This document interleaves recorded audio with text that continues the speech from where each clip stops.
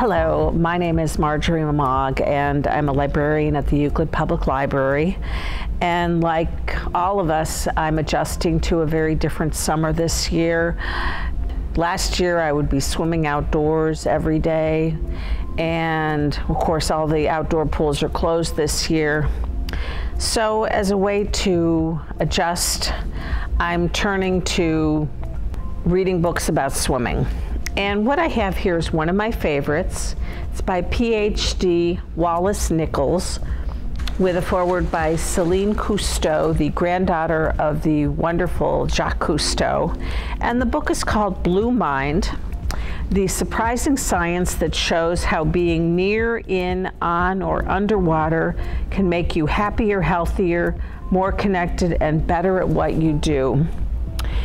It talks about uh, the physiological and brain wave differences that occur when you're near water or swimming or um, and it just provides a very relaxing and comforting experience. So please check out the book Blue Mind. I hope you'll enjoy it as much as I do.